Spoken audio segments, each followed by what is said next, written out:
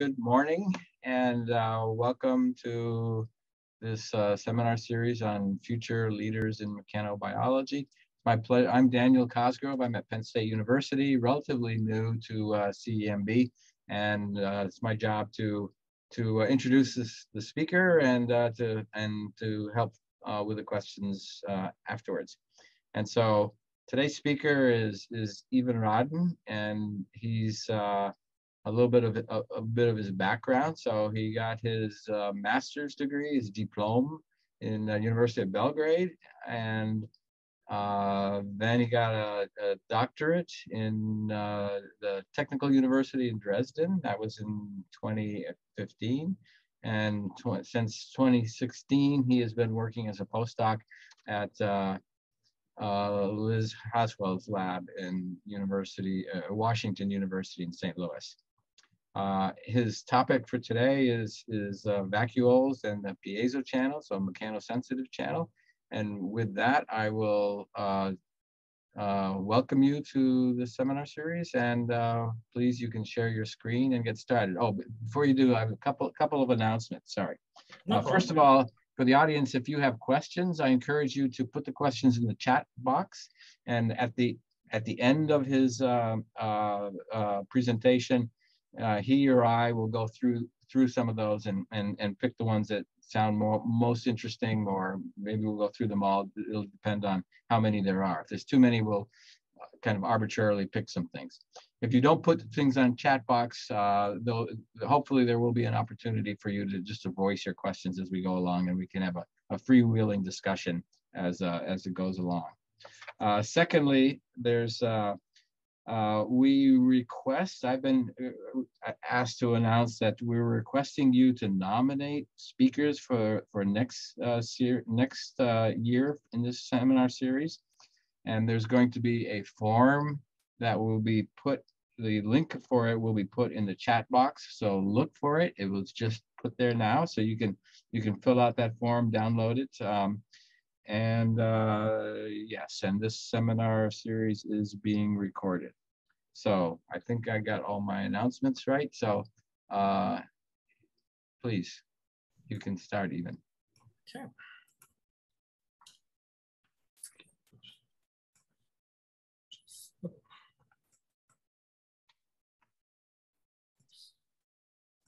Okay, you should see now my main presentation, correct? That's correct. Okay, great. Okay, so well, thank you for that nice, introduction. And I would like to start by thanking the organizers for allowing me to, or inviting me to present at this amazing seminar series and for uh, to kind of present the project I've been working on in the Haswell lab over the last few years here at the Washington University. So here I'm primarily focusing on the mechano cellular mechanosensing, and as probably most people at this center is familiar, uh, okay, Okay, here. As most uh, people are familiar, so this ability to sense and respond to mechanical forces is a fundamental property of most, if not all, ancient things, and it's actually very ancient. I'm just going to highlight with a few examples. So we see that in bacteria, they have to perceive different forces like shear, shear stress associated with fluid flow or adhesion forces or different substrate topology. I don't have to explain how animals perceive mechanical forces. I think we are all personally familiar with that. But this is also present, for example, in plants. And here I give an example from one of my old experiments where Arabidopsis root is uh, able to perceive and find and navigate its way around the barrier. In this, in this case, it's a cover slip I put in front of it.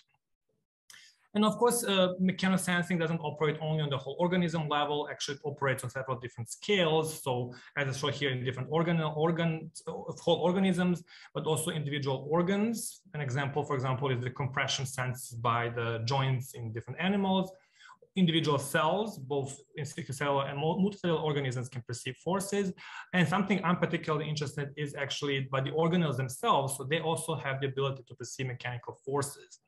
And you might be wondering, like, why would organelles need to do that? So, but you have to remember that actually they operate in a very crowded cell. And so they often experience mechanical forces through collision or being pushed against each other. And here I'm kind of showing an example from an animal, like there's a flat growing animal culture cells, but you can see the ER microtubule being pushed into the mitochondrial, kind of directly forcing an exiting force on it. And also organelles can be exposed to forces from cytoskeleton being pushed or pulled or stretched, both cytoskeleton as well as interaction with other organelles. So this is something I'm particularly interested in. And in general, in the Haswell lab, in the most broadest sense, we are particularly interested in specifically plant mechanosensation, which we can kind of classify or divide in two kind of categories. Is ability to respond and perceive force, both external and internal mechanical cues. And a classical example of external cue would be the perception of touch. And here I'm going to show you an example of how plants actually perceive touch. In this case, it's a video from one of my side projects where uh, sundew, this is carnivorous sundew plants, which is expressing cytosolic calcium biosensor, is a response to touch. And here, if I touch the bottom leaf at the bottom, you can see there is a very rapid and fast spreading calcium wave to the whole plant, which within about 30 seconds informs the whole plant there has been something happened to one of the leaves. However, this also holds true for the internal cues. For example, here as example, I'm showing you moss cells, which are now again express a cytosolic calcium sensor. And now these cells are actually swelling in response to the hyposmotic downshock. So that now they went from high osmolarity to low, forcing water to enter the cell and they expand. As you can actually see, this again causes increased calcium and also a wave of calcium spreading down the filament, again informing the whole plant. And in this case, one thing to kind of notice, the, the internal organelles are particularly involved in this process. As you can see, the vacuole, which was a black space here, expands, um, dramatically expands in response to mechanical force well, uh, directly responds to the water entry and also participates in this response. And another very important thing to note in both these cases is actually that mechanical perception is often linked to ion signaling. And in particular, in both these cases, the calcium signaling is a big marker of mechanotransduction. And one of the main mechanisms and one of the main reasons why this is the case is because most organisms, one of the main mechanisms most organisms use to perceive mechanical forces is through the actions of mechanosensitive ion channels which uh, uh, are able to convert mechanical forces, mechanical signals like membrane tensions into an electrochemical, uh, electrochemical signal of ion flow. So ion channels are present in almost all living systems, and they're present in both in plasma membrane and intercellular membranes, while the one on plasma membrane tend to more sense external cues versus the intercellular membrane ones tend to more be involved in perception of internal cues and they're able to reopen in response to the membrane direct membrane tension or the membrane deformation, then allow ions to flow down the electrochemical gradient.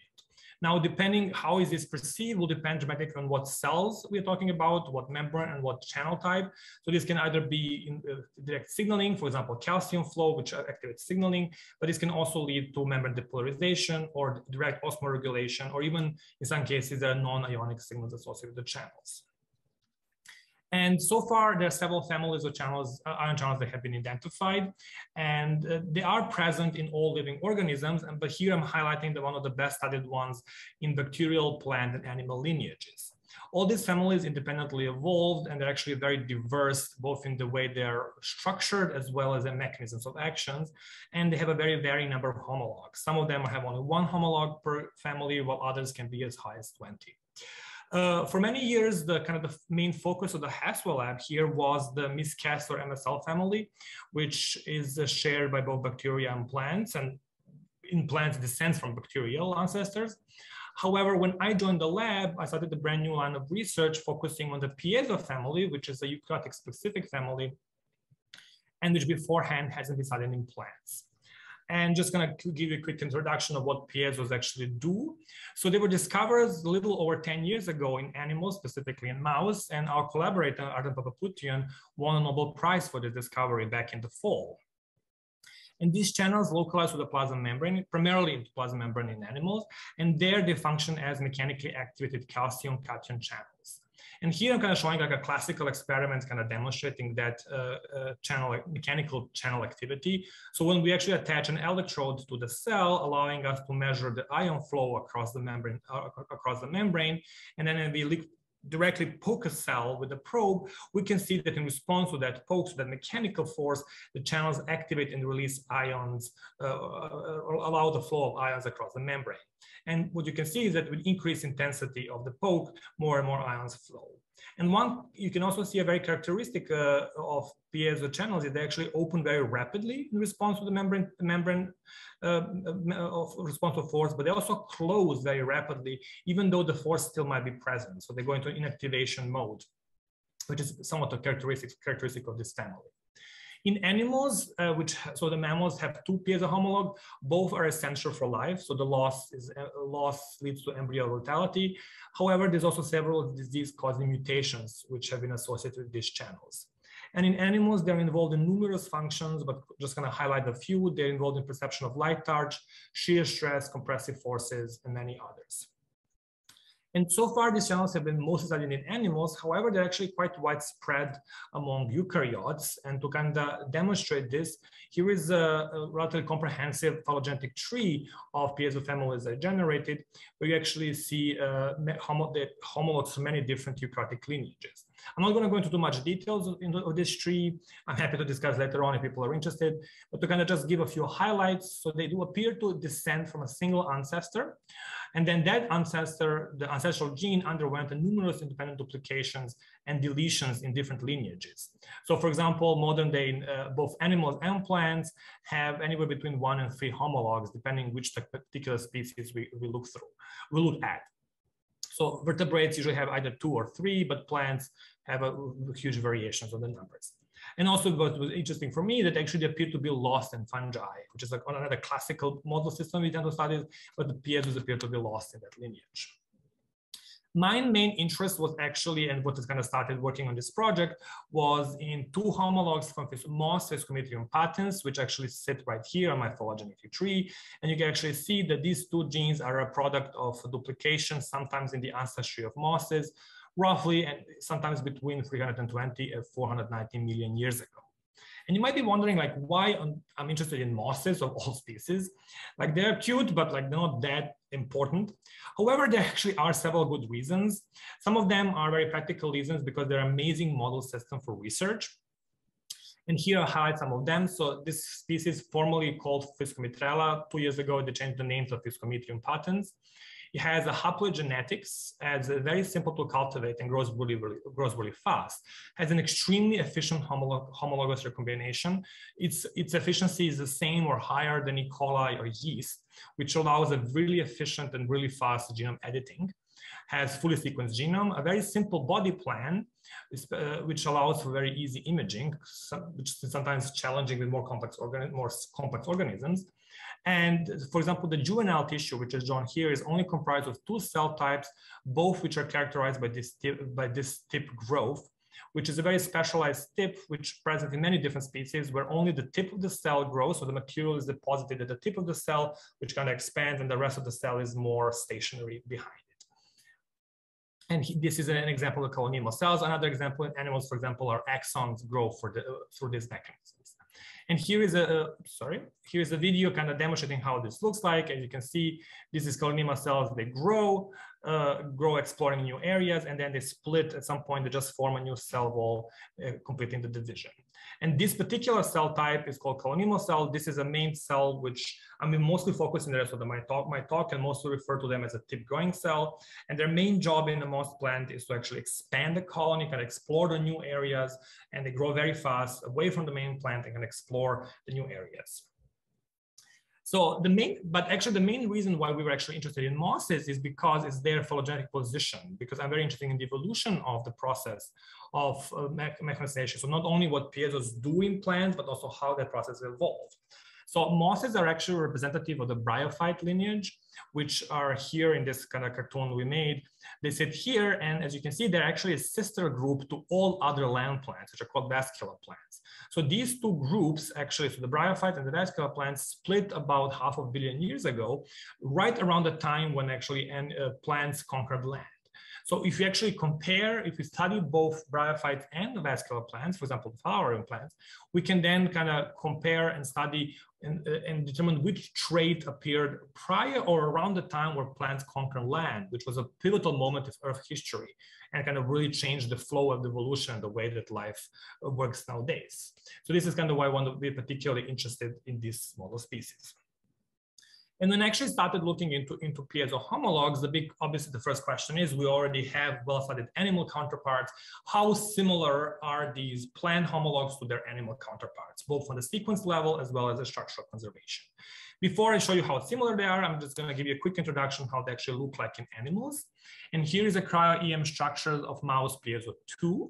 And so just I showed, so the mouse has two homologs and a mouse has two homologs, but they're actually not, they're independent duplications. The naming is just a little bit confusing. But so this is a mouse, the cryo-EM structure of the mouse piezo2, and you can see has a very characteristic pro propeller-like shape.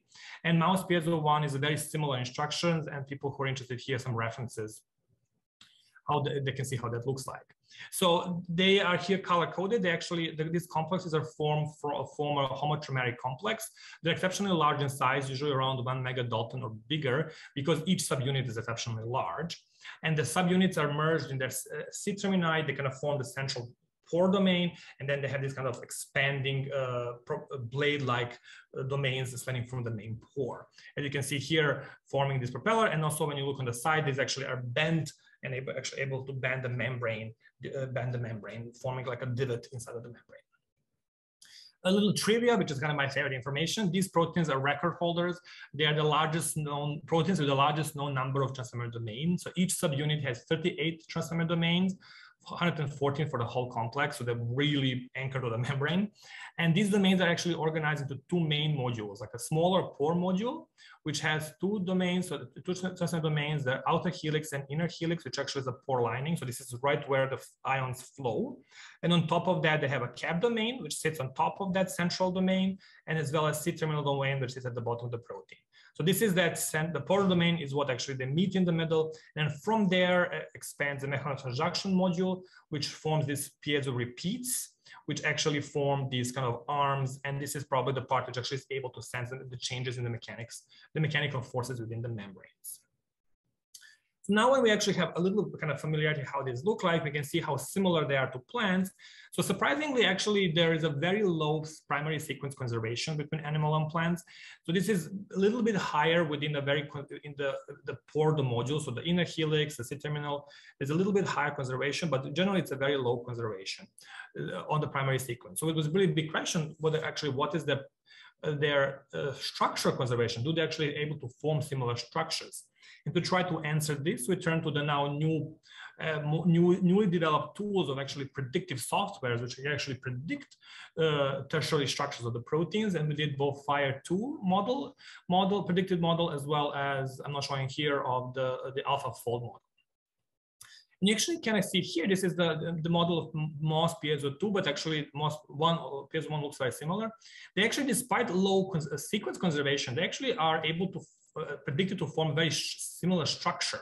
So we have the pore module with the inner helix, outer helix, as well as the cap domain sitting on top of it, and a C-terminal domain sitting below it, as well as many transmembrane domains forming this characteristic uh, blade shape, kind of like bending away from the main from the main channel. And just, just going to highlight how similar they are. Here is actually a, where I uh, superimpose the model of moss piezo2 onto the cryo here in gray, onto the cryo-EM structure of the mouse piezo2. Uh, which are here shown as a trimer, and then in different color, the monomers are in different color of blue. And you can actually see they actually have a really good overlap with a couple of regions where highlighted with the arrowhead, where they actually, uh, uh, uh where they kind of uh, disagree in the, in the alignment. So this actually kind of told us like, okay, this interesting, this does suggest that the piezos, plant piezos are likely, are possibly able to form the similar structures as animals and possibly functioning again as a channels similar as what we see in plants, uh, in animals. So, uh, and then as we are classical genetics, uh, genetics, and we, we did a classical experiments of knock, uh, knock out the protein to, and to see what actually functions will actually play in plant cells. And we use CRISPR to generate both single and double piezo mutants. And with single mutants, we actually didn't see any significant growth alteration, which was already a significant departure from animals. Whereas I said, the loss of either is embryo lethal. In plants, they're actually function fine. With the, with the double mutants, we did see some growth defects. They were mild, but there were some defects. So this is specifically focusing on these colony cells. So this is a juvenile tissue And these cells, as I said before, they grow by the tip and they can expand the main plant. So they grow away from the main plant relatively quickly, kind of finding the new territories. In the wild type, you can see these filaments. Uh, here, this their cell wall is stained with uh, their cell wall is stained, and this is what you see in cyan. You can see that they they're relatively straight filaments growing away from the main plant. And uh, however, in the double mutant, they actually still exist and grow, but they are slightly smaller or shorter, and they actually don't expand as far away from the main plant, and they tend to be kind of more curved. And we actually quantified, and yes, indeed, they do grow slightly slower, so the tip expansion is slightly slower, and the cells, these cells in double mutants are indeed are indeed uh, slightly shorter, however, the thickness is maintained. And the whole filaments are slightly, uh, slightly uh, more curved. It was interesting, and we do, we do have phenotype. However, generally growth, growth defects are not the most exciting phenotype because many gene alterations cause growth defects. So we kind of wanted to kind of dive in more specifically. And we generally focus from in the, more, the rest of the talk, I will specifically focus on this cell type where we saw this initial phenotype the first thing we really wanted to see is it actually the uh, the local the subcellular localization of these proteins in plants, fully expecting them to be localized to the the plasma membrane as they are in animals. However, as it was a big surprise to us when we actually overexpressed either moss piezo1 or piezo2 tagged with monomeric GFP, we actually saw that they exclusively target to the, to the vacuolar membrane, which is a large central organelle inside of the cell. As you can kind of see here, decorated in green, it's actually able to push uh, chloroplasts and other organelles like nucleus and chloroplasts, which are here in magenta. This was a big surprise, but sometimes overexpression can cause different artifacts. So we also did utilize the power of moss genetics and actually integrated monomeric GFP directly into the native loci. We knocked in GFP into the native loci of both piezo1 and piezo2. And but again, we saw a same phenotype, not, not phenotype, we saw the same pattern where piezo is localized now with much lower expression levels, with the again localized to the vacuolar membrane, as you can kind of see here, these large organelles pushing all other organelles to the edge. And here again, chloroplasts, this green blobs is actually chloroplast autofluorescence. It's not an actual signal, green signal. The dotted line is blue signal. This was very exciting for us. And before I move on, it's just kind of quick introduction for people who are less familiar is what plant vacuoles are. So these are very large aqueous organelles which actually perform numerous functions. They're involved in metabolite and ion storage. They perform osmotic potential maintenance. They, are involved in osmotic potential maintenance as well as pH maintenance, and they participate in cellular degradation and detoxification. In a classical in most of the classical cell biology books, they're drawn as this kind of like a balloons, kind of relatively inert balloon sitting inside of the cell, occupying part of the cell volume and tend often be ignored. However, they actually don't look like that in nature usually. This is, as I already showed you, this is how they most look, often look like in mature cells, where they actually occupy almost 90% of the cell volume. So they're by far the most dominant organelle and the most influential organelle in the plant cell. However, they're also not just, again, they're not just this like a balloon sitting there. They also can be highly dynamic and respond to changes in their environment. And here you can actually, as just an example, I'm showing you the change in the vacuum morphology in the uh, guard cells. So the guard cells actually are these two cell uh, cells which form a pore, which allows a gas exchange in, within a leaf. So and that this pore opens and closes.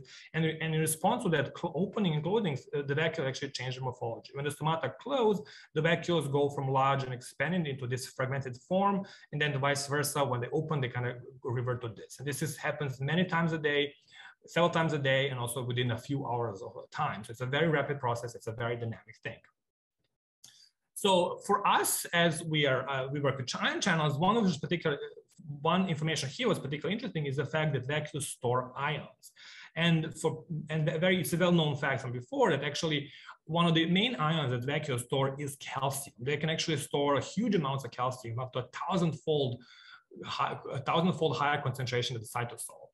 So it was actually still feasible that, that, that in, in plants or in moss, piezos operate analogously to animals in a sense that they are able to, to release calcium into the cytosol for signaling, however, not from the extracellular matrix stores, but now from the internal internalized store that sits in the vacuole this actually this also made us wonder whether what is the orientation of piezos in the vacuolar membrane.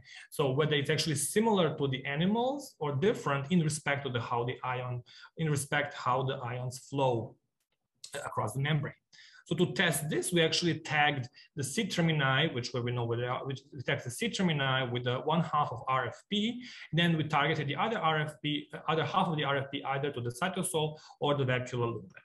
And then first we tested this orientation by targeting the other half into the lumen, and we actually did not observe any uh, RFP signal. So the signal you see here is again autofluorescence of the chloroplast, so that's not an actual RFP signal. And this cell cell type we use this is a transiently transformed protoplast. Protoplasts are cell wall cells, plant cells where the cell wall has been removed by enzyme, and so they're forced to sit in a solution that achieve, uh, they're forced into these perfectly spherical shapes.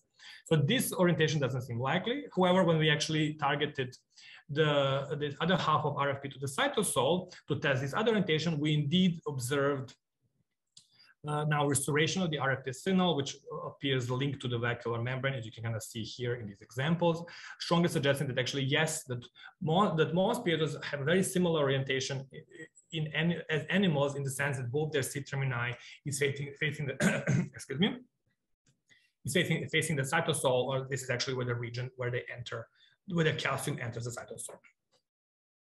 So this was particularly interesting. So this was actually very exciting and really suggests that piezos indeed both now knowing that structurally they're potentially similar to animal cells and they are actually still able to, they sit in the proper position to allow the calcium flow in cytosol. So we were really interested in, okay, how do they affect the cytosolic signaling, especially in those cells where we actually see some growth defects. And this was done with the help of our collaborator, Magdalena Bezanilla from the Dartmouth College, which, so she imaged these, again, these are the same tip growing cells we observed before, and they actually are characterized by very complex calcium oscillatory profiles. So you can see there's, there's both tip forward calcium gradient as well as a very rapid changes of the calcium signal which is here quantified, uh, which is here kind of quantified. It's, it's a very complex signal, but uh, she was able to, uh, but she was able to uh, decompose that complex signal into components with discrete periods, which we kind of grouped into the short, medium, and long period components. And now with this kind of tool, we were able to compare whether we see any changes in response to perturbation of piezo function. And here is actually what we saw when we compared the wild type cell versus the, the piezo double mutant cell, as well as over, overexpressor mutants. And we didn't, it didn't see that there's actually alterations of the abundances of these individual components. Specifically, the medium period component was, must, was much less abundant in the double mutant, while on the other hand, in the overexpression, the short period component now became less abundant. And oops, excuse me. And furthermore, we also saw that in the overexpressors, the me short, the medium period component actually not only uh, changes its abundance, but also actually changed its period itself. So the, the period became longer. So this strongly suggests that piezos actually do affect cytosolic calcium oscillatory profile. Either if they do it directly as a channel themselves or indirectly, and it's something we are still interesting, uh, we're still testing and pursuing as a line of research. There's a still big question, but what they actually do in the cell. So, okay, they affect the cell growth, they affect calcium signaling, but what and what did they actually do? And so then we turn to actually see what do they actually do in uh, what they actually do in, uh, uh, in the vacuoles themselves. And before that, I'm gonna familiarize you how the vacuoles look like in these cell types. This is again the same cell type we were looking all this time. So here is two different stainings. So this is a staining vacuole, staining cells with the carboxy DCFDA, which stains vacuolar lumen. So here now we see that only the vacuolar lumen, and this is a maximum Z projection. And here we have another stain, stain which is called MDY-64, which stains the vacuolar membrane or tonoplast, as well as some other internal membrane structures specifically mostly membrane. But you can easily identify vacuoles as these kind of empty black spaces surrounded by membrane. So that's the the, the, the volume, the lumen of the not being stained. And you can kind of, you can kind of see them here. And uh, in cyan, you see the, the autofluorescence of the chloroplast. And so as you can see, the, uh, the tip growing wild type cells have a very complex cytomorphology. So in the tip region, they have this what we named tubule-like vacuoles. Essentially, they almost will they have like tubules which follow the longitudinal axis of the, of the growing cell, presumably to allow this kind of proper growth. However, in the region behind the nucleus, well, the cell is now more stationary. It's not growing actively in that region anymore. The vacuoles expand and occupy the large volume, almost a complete cell volume. However, when we actually looked at the double piezo mutants, we saw that they're actually unable to maintain this tubule-like vacuolar morphology in the tip growing system, in the tip region. So instead, they actually have large vacuoles throughout the whole cell, both before and after the nucleus. And often they actually get fused into one vacuole, pushing the nucleus to the side of the cell, displacing it from its normally central position. And this, in respect to this function, both piezo 1 and piezo 2 appear to be redundant because they both need to be knocked out to see a full effect. In double mutants, almost all cells have these kind of morphology, while the single mutants have uh, some uh, have a ratio cells with both morphologies are present. This was very exciting, but then, uh, and we were actually able to complement this phenotype or suppress this phenotype by overexpressing either piezo 1 or piezo 2 this should suggesting to us that the vacuole phenotype is directly linked to the piezo loci, and it's not some secondary effect. So, uh, so as you can see here, and then when we express, the vacuoles go from large and expanded, again, restoring their tubular-like morphology. However, during these experiments, we also noticed that in these overexpressors, we now start seeing more of these kind of internalized membrane structures, what we call like a bubble-like membrane structures. As you can see here with arrows, there's a couple of examples. Inside of the lumen of the vacuole, membranes appear and often looks often looks like there's like a membrane inside of the membrane, like bubble inside of the bubble. And we actually quantified, and indeed we saw that in our, especially piezo 2 overexpressor, there's a significant increase in the amount of cells which actually uh, have that phenotype. The wild type can have that phenotype, but it's relatively rare. However, in the in the overexpressor become, this becomes almost a majority in the norm. So it's kind of it's indicating to us that actually now the piezo is directly able to interact or affect the morphology of the vacuole and possibly somehow force the internalization of the vacuolar membrane. And to help us kind of further look into that, we actually took an inspiration from the animal field, where many uh, gain of function mutations have been described. And we are particularly interested in this one, which causes the hereditary xerocytosis, which is linked to the mutation of this uh, arginine, which sits at the very end of the inner helix, which is the polar ion domain. So it's like right, it's right where the ions flow. So this is the arginine we're interested in. And you can see uh, in humans, there's actually couple of mutations have been described, but in the wild type, you can see there's this characteristic piezo function—it opens here in black, it opens very rapidly and also closes very rapidly in response to the mechanical signal. However, in these mutations, which is arginine to, uh, to lysine or histidine, we actually see that the channel is much slower in closing. It opens in the same as wild type. However, it actually takes a really long time to close. It even stays open partially due, well, this, even after the signal is, is removed. It's a, they're hyperactive. They're, they stay open long, allowing the flow of more, uh, more ions to flow into the cytosol. And luckily for us, or at least why we picked this mutant, this actually, this particular position is almost completely conserved among all piezo mutants, among all piezo, some of you, all, all piezo homologs uh, among the, uh, within eukaryotes. And this is, and again, we utilize the power of moss genetics and we're able to directly mutate uh, I think one or two base pairs within the genomes, the native loci of piezo2 to allow for this single nucleotide, uh, sing, single, single, single uh, base, uh, amino acid change in the protein. And we actually saw the effect of the mutation. We were actually kind of astonished. It was actually how one single point mutation can cause dramatic uh, changes. And here is a kind of quick reminder. This is what wild type looks like. Generally, tubule-like vacuoles, which are relatively empty. However, in the gain of function mutants, we again see increase in those internalized bubble-like function, uh, bubble-like membrane structure inside of the vacuole. However, we also see so much more extreme phenotypes where the vacuoles expand and then a massive amount of very complex membrane structures being pulled inside of the vacuolar lumen, often, uh, for, often even associated with the part of the cytosol being pulled inside of the lumen. In the most extreme cases, and kind of my favorite phenotype is what we call membrane lamination, where the vacuoles actually get pulled into the lumen and get kind of almost rolled and pulled on itself, resembling puff pastry. Uh, so like layers and layers of membrane get pulled on itself. And this is a phenotype we never observed in the wild type. So this was actually really exciting for us. So clearly there's a direct uh, uh, function of piezo. And before I move on, I'm gonna give you a quick summary of what I showed so far. So I hope I convinced you that piezo one, most piezo one and two modulate vector morphology in the tip growing cells. So they're actually required to maintain the normal tubule-like vacuoles in the tip regions because the loss of functions have these large expanded vacuoles. However, when we overexpress them or introduce these kind of hyperactive gain of function mutations, excuse me, we see this increase in vagination on the membrane. So the more membrane being pulled inside of the lumen, suggesting that piezo is promoting membrane invagination and possibly membrane fission. And this was really exciting. But however, this was the big question was, is this something very specific for moss, this one specific cell type, the specific homolog, or this is a more broader, uh, broader ability or more broader characteristics of piezo? So we actually kind of turn our attention to a completely different part of our phylogeny, so the opposite side of the of the land plants, looking at a single homolog from the uh, flowering plant Arabidopsis thaliana, which is a well-studied well model system. And just a kind of quick, quick uh, reminder. So the Arabidopsis thaliana is a has a diploid genetics. It's a very simple to cultivate. It's a very small plant, making it very easy to grow inside of the growth chambers. It's a very fast growth cycle, about two months, which is very fast for a plant. It has a fully sequenced genome and many resources available for for experiments. So, oops, excuse me.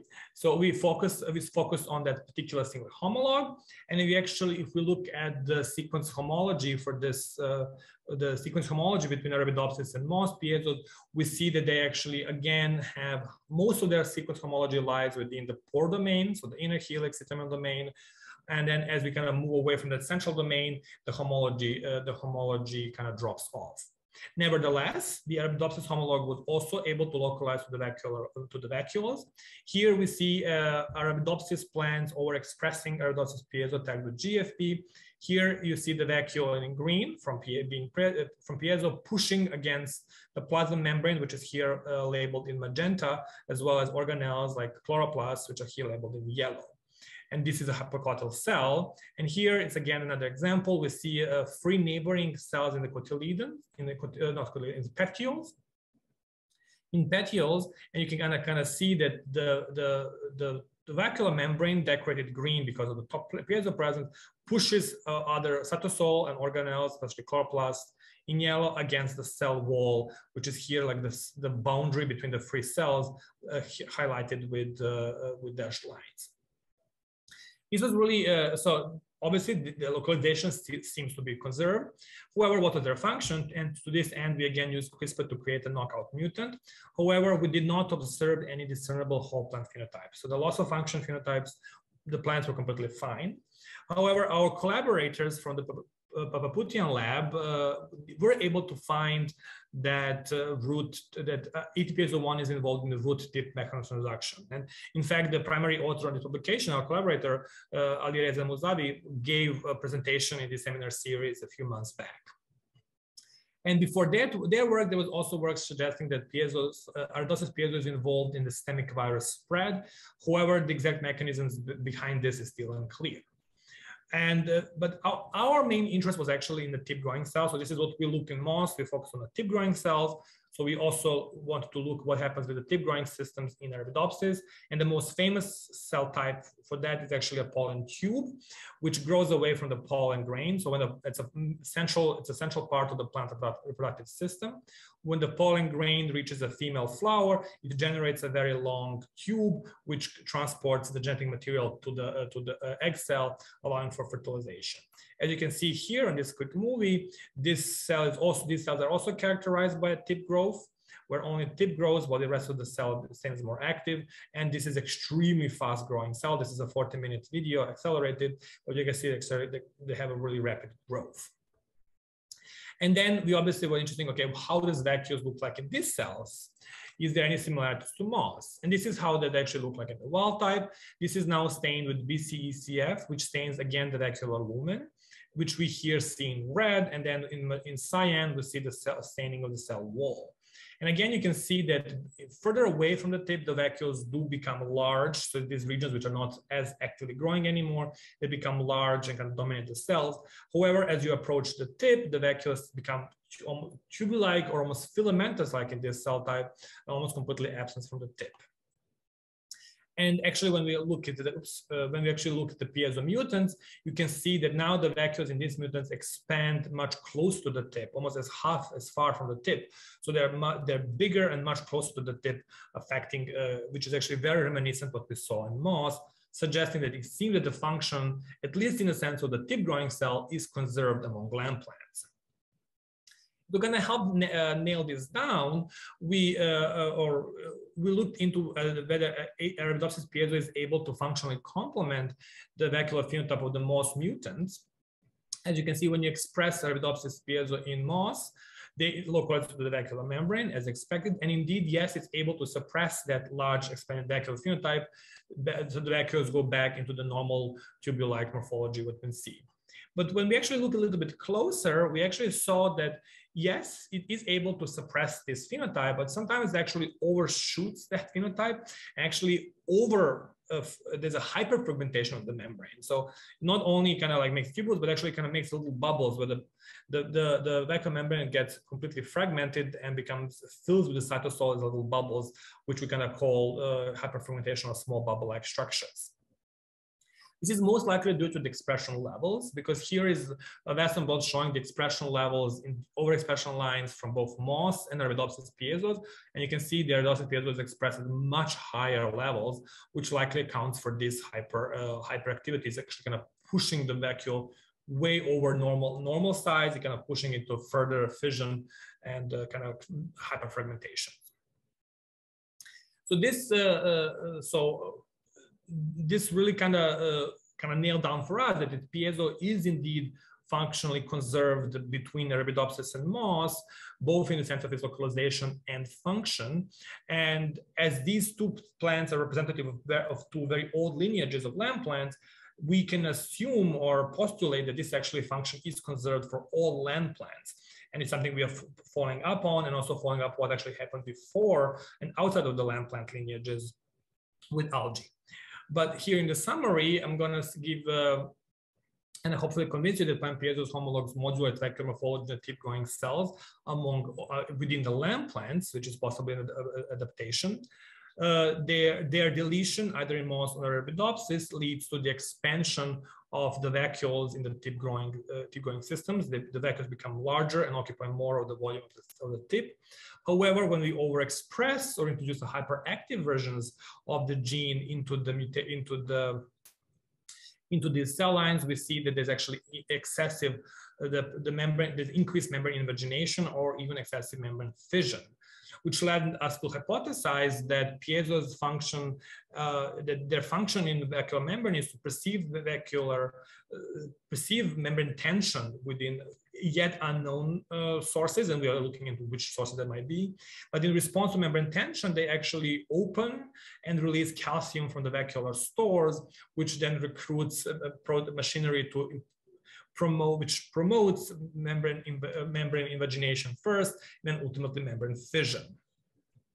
So this was actually very exciting for us. And, uh, and the, you know, we don't know exactly why, but we speculate that the tip growing systems actually favor these fragmented vacuoles, these kind of small vacuoles, both to facilitate, uh, both because these smaller vacuoles might be better suited to quickly respond to the cha local changes in the environment. So you have a very long cell, so a smaller vacuole is able to respond to the different changes like the, what tip is experiences versus what the later on in a shank or further down the cell. And it also, it could be simple that these uh, fragmented vacuoles simply allow other cellular machinery to work uh, and to do their jobs un un unimpeded because it's a very highly, these growth regions are very active parts of the cell. Another thing which is really kind of what my results highlighted, or I hope highlighted, is that really the importance of studying multiple extant lineages to gain a better and fuller understanding of cellular and organellar mechanics. So now, before now, when we compare the data we got as well, our collaborator, and a slew of really valuable data from animal cells, we can see there was a huge change in the functionality of piezos. In, in animals, they sit in a plasma membrane. However, in the plant cells, they sit in the vacuolar membrane. And it seems likely that this is over the, uh, since the, these two lineages split a little over one and a half billion years ago, piezos have been clearly adapted for quite different functions. It is possible that this is an adaptation to vastly different mechanics these two cell lineages uh, uh, evolve over time. For example, plant cells are surrounded by and cemented by a very strong cell walls, which allow them to build out huge levels of, uh, of uh, cellular pressure up to one megapascal, which is just for reference, It's a four times the, the car tire pressure and also gives them a really high elastic modulus. On the other hand, the animal cells are surrounded by usually soft extracellular matrix and can maintain much lower cellular pressures. So, uh, so we believe that uh, kind of this by only studying different lineages, we can kind of gain this additional additional, additional knowledge because all these all the extant lineages exist today. They're experiencing now, and they have experienced in the past different mechanical challenges, and they solved a different and they solved those challenges or overcome the challenges in a different manner. And so there's a lot of more valuable information and diversity of mechanics uh, out there for us to study. And recently, my postdoctoral advisor and I named this approach or if you will, a new evolution field as evolutionary mechanobiology or even mechano, which we think it should addresses the diversity of mechanical properties and mechanical signaling among all extant lineages, and by comparing them, strive to understand their evolution, adaptation, and adaptation to different mechanical circumstances. As I said, there's a lot like a lot of research has been done on several model systems, and this was a really valuable research and really valuable information. However, there's a lot of variability outside of this couple of species, mouse, Arabidopsis, yeast.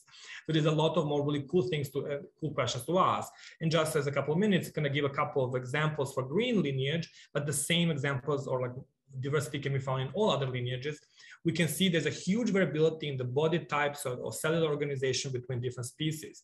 For example, within the same group, we, we can see uh, different extremes. Here, like they can be in between this algal group, we have one of the smallest eukaryotic cell, only one microliter size, and one of the biggest eukaryotic cells within 35 millimeter in size. The question is, what mechanics change between those two groups or those two species to allow these different cells to form and actually even function and operate? Or how some cells are actually still motile and single cellular versus others are more stationary and multicellular. And another big, big question for plants is how they actually adapt, adapted to the changes in the environment in evolution. There was a big change when plants went from salt water to fresh water. There was a huge osmotic shock to that, how this process adapted, as well as later on when they actually went from fresh water to land, which was a dramatic change and required many adaptations to the very many new mechanical uh, challenges now faced on land. For starters, uh, from the change, uh, rapid changes of osmotic pressure, but even to things like now much stronger gravity responses. Now on land, plants, uh, experience, plants and animals experience much stronger gravity than in water, where normally gravity is counteracted by bu buoyancy. And so in response to that, actually with plants, we see evolution of many different mechanisms for sensing gravity. Again, just an example, in land plants, the gravity is sensed through the activity of starch-filled plastids, amyloplasts, which function as a statolith. However, when we actually look at the Chara, which is an algal species, which is a sister, one of the sister groups to land plants, they actually use vacuoles filled with barium sulfate crystals. And for many other algal species, we actually don't know how they sense. Um, the, gravity. So there's a really a lot of really interesting things to kind of look at uh, uh, and really cool questions, in my opinion, to ask. And these just these few uh, examples how uh, I hope convince you that it's really worth kind of trying to expand our interest and kind of studying multiple multiple lineages and studying cellular mechanics on multiple uh, multiple scales, which will ultimately allow us to generate tools for engineering and controlling plant growth for different agriculture, medical, or other purposes, or even have applications for other non-plant systems. Because I give examples for plants because I'm plant biologist, but the same system applies more, more broadly. And finally, I'm just gonna give a quick acknowledgement, specifically, especially everybody in the Haswell lab, especially Liz, who has been amazing and very supportive uh, advisor for many years.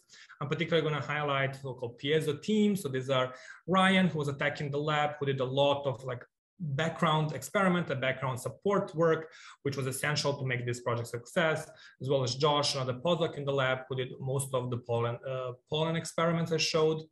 And uh, especially thanks to all our collaborators, which current and past, which work on this and other projects, as well as funding, uh, including CEMB, which funded some part. CEMB actually funded my initial trip to Magdalena's lab to learn how to work with moss. So it was instrumental to make this project happen, to kind of switch from Arabidopsis to moss or expand from Arabidopsis to moss. So thank you for that.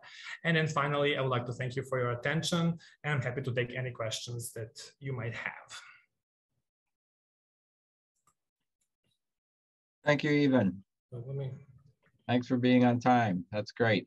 I, I was like tried, tried. Applause. Okay. Um, so we have a couple of questions here. I'm just trying. I'm trying to go back to the Slack to see them, but okay, you can go ahead and read them. I'm not sure. All right. So Oswald Zuza, sorry if I butchered the name.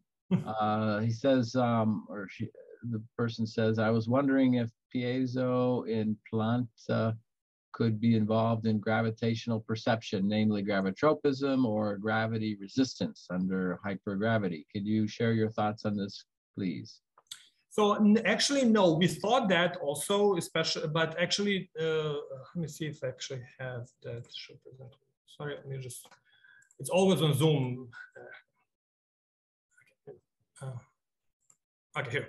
So yeah, so uh, actually, no, we actually tested this and uh, there is no, uh, there is, uh, the gravity response is normal in this. mean. Ah, here, this is what I'm looking for. Let me see where we are. Ah, here it is. So this is here, uh, here is the, so this is actually the res gravity response of this uh, of this of these mutants. So this actually in hey, Ron, we are not seeing those slides. Ah, you're not seeing. Oh. I'm just seeing your acknowledge. Thank you. Oh, okay, okay. Let me share again. I think I. Okay, Thanks. now you see Thanks, it. Ron. Yeah, sorry. Yeah, so here you can see this is actually a gravity response. So it's, in mosses, only these caulonemal cells, they're the only one that responds to gravity in the lack of light. They, in the dark, they actually grow against the gravity, trying to find the light from the soil, but they actually are perfectly fine. They grow less because the cells grow less, but they respond to gravity perfectly normally. We still don't know exactly what channels in plants are exactly involved in gravity response. Thank you. And I have a question. Um, is it, uh, uh, what, what, so as you were talking, I was thinking of the of piezo as being a kind of a pressure release valve. And, uh, but you focused your attention on, on it releasing calcium. Yes. And so uh, maybe you could say something about that. So the, the, the distinction would be if it's pressure release valve, it would it would be relatively non-specific. It would it would let all sorts of ions out. If it's if it's highly specific for calcium, it would be um, yeah, it would be highly specific. Um, yeah, exactly. So essentially, so the other family I mentioned in the beginning, so the other family where we work on the M, the MSL family or the MscS family, generally they are thought to be more as a pressure valves. They are uh, relatively unspecific. They have a slight preference for ions, but generally they will conduct anything. Piezo is not super specific. It conducts most cations. There's a certain difference in like the preferences. However, what I think the most interesting is actually the when we look at the conductivity and uh, time open. For example, if you compare MS, uh, MSLs, they actually have huge conductances. Once they open, they release a massive amount of ions directly controlling the, the change. Piezos actually have a very small conductances. I believe for most animals, it's about three picosiemens. So even when they open, they release very little ions. So there's not really much, and they also open a very short time. They don't really have a, they don't really have, a, so it's a very small conductance, very short time. So there's only time to control osmoregulation directly. It is possible that they can activate other channels, uh, calcium activated calcium channels or other other proteins or potentially cause like a local changes but more massive it's less likely not impossible but like msls they generally tend to be msl channels tend to behave in that way Right. because they they op- they conduct much more ions and they stay open much longer even past the initial stimuli allowing for more regulation okay uh, still the question still remains i think formally at least that it, you, I mean, it, yes, it lets calcium through, and you uh, uh, propose that it's the calcium that then downstream affects the tonoplast uh, uh, conformation, et cetera. Do you do you have any evidence that that supports that it's really calcium that's um, mediating the downstream responses, or not yeah. yet. We really we're really interested in that, and this is something we're really following up on, but no, we don't have a direct evidence. But for example, there are other channels, like for example, in the vacuole membrane, there is a TPK channels, which are also mechanically activated. But before that, they actually require a calcium binding. So they conduct potassium primarily, and they actually conduct a lot of potassium. And so it's possible that a possibility, but this is again just a theory, is that uh, you know activation of piezo releases calcium, which then primes the TPK channels to activate and then release uh, and then release a lot of potassium. But you are right; it's possible that piezos are. We don't exactly know. So the collaborators they did do. Um, some some uh, some uh, patch clamping studies on on plant homologs, specifically the Arabidopsis homolog, and they did show that it conducts calcium, but they had to make chimeras because of the, of the some targeting problems, and so we don't really exactly know quite yet the plant characteristics of it, uh, but we can operate with the hypothesis that they primarily conduct calcium for signaling purposes. But your question and point stands. It's possible that they have other other way of functioning. Okay. Uh, Charlie asked whether, Charlie Anderson asked whether the uh, piezo mutants have a stomatal phenotype. So I started to look into that and then we just kind of didn't have the time. So a very preliminary data suggests that there is some delay in the the transition or the, or the fragmentations of the vacuoles when the actual stomata close and the vacuoles fragment like one experiment showed that there's actually a delay in doing that. They can do it, but that's far as I got. And then somehow other things took priority. And it's I oh no, I want to do experiments, but it's just like time is limited, unfortunately. so, but we're quite intrigued by that question as well, yes. Especially, I mean, this is as we only focus on the tip growing cells. So there's a huge diversity of what actually happens in as stomata cells, other like uh, cells which grow by expansion. So these are all quite different cells, even in moss and Arabidopsis. So it's really open question what actually happens in those all cell types, which have quite different vacuoles and different organization of the internal structure. So it's a lot of fascinating questions there as well. Okay. Uh, your postdoc advisor, Liz Haswell, posted a question. Uh, okay. Maybe this is, maybe this is, I'm not sure if the question is directed to you or to me since I raised the issue or uh, to everyone, um, uh, anyone that's okay. response. Okay, so what would be direct evidence that calcium is mediating downstream signaling, she asks. And uh, that's sort of mixed in with a with another thought I had in my mind is, and this is an idea that's been talked about for a long time, is is if there are other uh, re response pathways that involve calcium uh, fluxes and re releases into the cytoplasm, how does the cell differentiate between that, between those different signals? Yes, yeah, it's so. So, so I guess uh, let, let me since since Liz asked the question to everyone, what would be direct evidence that calcium is mediating downstream signaling? Let me let me post that to the to the, the group at large. Uh, you can unmute if you want, or you could respond in the chat. Uh, let's let's pause for a minute to see if anyone has some suggestions. This is brainstorming, I guess. Yeah, but we'll we'll come back to Ramber also has a question. We won't forget that.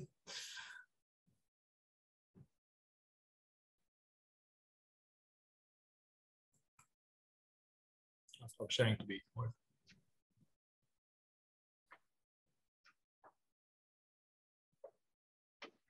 That's okay, everyone. I can wait.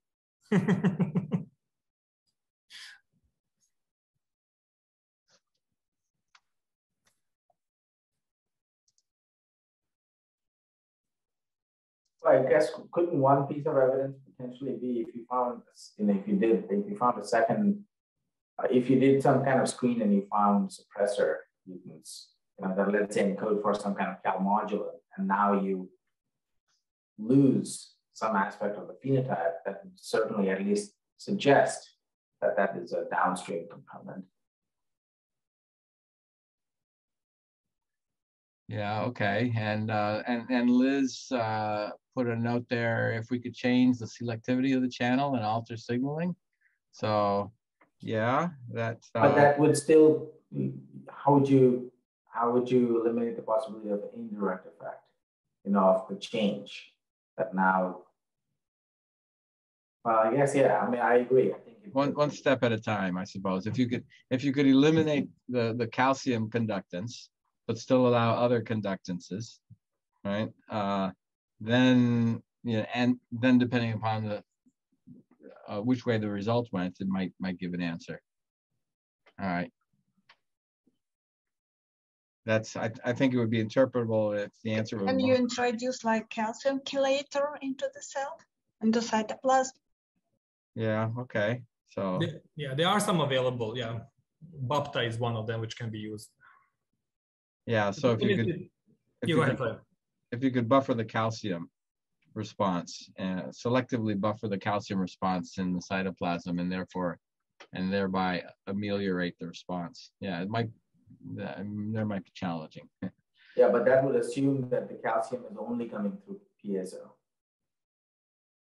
And it's definitely maybe, not. There may be uh, right. Yeah, there may be other other proteins contributing to calcium release in the cell. Yeah. Yeah. Okay. But still, it comes back to my question of how does the cell differentiate if it's a, if it's only a calcium signal? How does the cell differentiate calcium signal through the piezo versus calcium signal through entirely different pathways? That's a, I would say a Nobel Prize question. it's a very... I, so from what little I know, just from what I teach in the class, uh, I, mean, I think in, in other systems, you know, the spike frequency, the amplitudes, the characteristics of the calcium waves and spikes themselves are decoded in various ways. You can also, I guess, in principle, imagine how far that calcium gets because there are so many calcium binding proteins that typically restrict the diffusion of calcium very, very quickly. Um, so you can imagine that maybe piezo has has specific effects based on the, what, what else is in its vicinity. Maybe there are some proteins that interact with piezo on the C terminal side that poise it to respond right off the bat. But I don't know if those are, you know, I'm just throwing out some ideas. Yeah. Okay. I mean, absolutely. There are many pumps which actually pump calcium back in both plasma membrane, ER, vacuolar membrane. They can be in the close vicinity and a very local signaling, which are really hard to catch with like a broad, like the signaling I'm show, uh. We are working on trying to make direct sensors, which will actually sense like directly tagging piezos with the with the the calcium sensors to try to detect calcium flowing through piezo itself. But we haven't got far away on that project quite yet. That potentially could try to address that question at some point. Okay, so it's a few minutes after noon, and I don't see any other questions. Does anyone in the audience have a, a question yeah. by Mike? Yeah, I, I, had a question. I just, I mean, I just wanted to wait because I can always ask uh, Ivan just, you know, down the hall later. Uh, but I just asked quickly, I was just wondering if it would be interesting to think about if you could introduce some of those vacuolar mutants, right, cause vacuolar fragmentation through other mechanisms, right, in, in your piezo mutant. Would that be, you know, a very so, pose of vacuolar phenotype? So you were breaking up. Can you repeat the oh, question? Um, would it be interesting to, to introduce a vacuolar morphology mutant mutation mm. in your piezo mutant lines? You know, where yeah. you force the vacuolar morphology, let's say uh, preferentially at the tip, to be different, you know, in either direction with the suppress or enhance. So, and I don't know if it would be worth doing it. I mean, de definitely, it's yeah, because it's still unclear what mechanisms piezo, and really interesting to see what mechanisms actually piezos use to control the, the morphology or promote invagination. We are relatively certain it does do that, but like, is it, it's possible it does it on its own? Piezos are very big. And so they actually bend membranes. So theoretically, they could even act as a member bender, even without a calcium signaling. They could just do it just by somehow changing the, their, their uh, 3D structures or recruiting something else. It's definitely interesting to kind of follow up and i'm hoping to have the opportunity in the future to follow up on there but there's only so many questions that you can ask it in time but yes absolutely yeah so my naive thought was you know cytoskeleton obviously is involved in a lot of membrane morphogen you know tubulation things like that in in, in, in systems and yeah. it's dense right at the tip there's so much cytoskeleton mm-hmm. as you mentioned i was my first thought was it would make sense to tubulate the vacuoles there to give, make room for all that tip growth transport and that's, that yeah. to happen. That's Maybe, exactly what and, and a lot of this cytoskeletal remodeling proteins are calcium sensitive. So maybe there's a connection there. Yeah, that's exactly what I was thinking. That it's actually it's possible that you have the vacuole and then the cytoskeleton just kind of rams into it, and then piezo senses that and kind of okay, now we have to make a way for the cytoskeleton to go go as like a highway it needs to go through. It's a possible one way of actually maintaining that tubular formation. And uh, it's possible that invagination is just a process in the fission. But yeah, it's a, it's a fascinating question and definitely very interesting, especially with cytoskeleton. That's a really, I mean, obviously, I know for you, a great question, but I'm also quite interesting where it, I think if, any, the cytoskeleton might be one of the main kind of actors in that process. My dream is we're going to have a colors like label cytoskeleton, label vacuoles, label pairs, and actually see live how they all interact. But that's kind of dream, dream experiment. But we'll see what's possible in the future to actually do.